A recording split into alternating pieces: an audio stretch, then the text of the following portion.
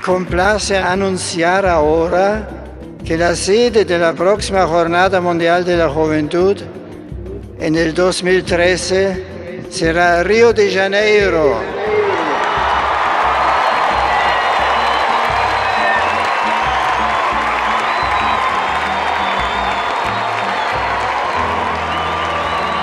El agitarse de banderas brasileñas rubrica con gran alborozo la decisión del Papa.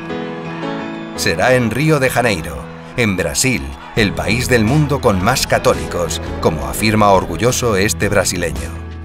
O Brasil é o país mais católico do mundo, então nós estamos esperando todo, todo mundo de braços abertos com o amor de Cristo no Rio de Janeiro para acolher todo, o, todo mundo na próxima Jornada Mundial da Juventude. Brasil! Brasil!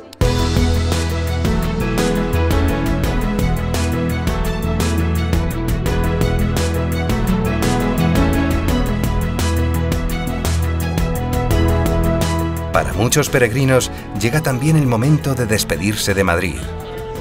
Llevarán el mensaje del Papa hasta los últimos rincones del mundo.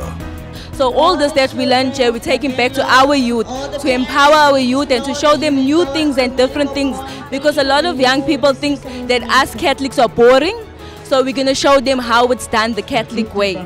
E mais do que regressar com entusiasmo, vamos procurar viver mais aquilo que é a nossa fé, participar de forma mais íntegra na igreja, nas celebrações eucarísticas lá das nossas localidades e procurar difundir mais o Evangelho.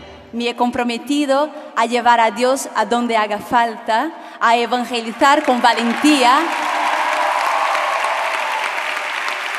y a dar testimonio con mi vida de que Cristo no quita nada, lo da todo.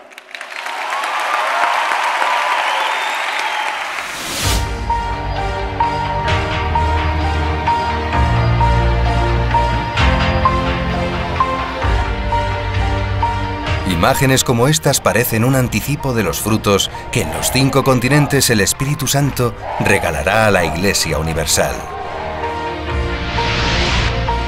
Los podremos ver, todavía más abundantes, si Dios quiere, en la próxima parada, Río de Janeiro 2013.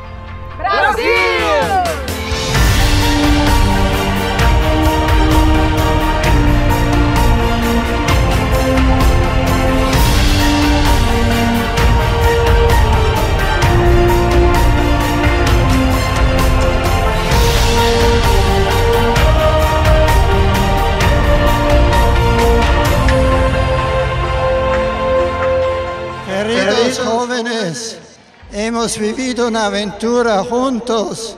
Gracias a todos.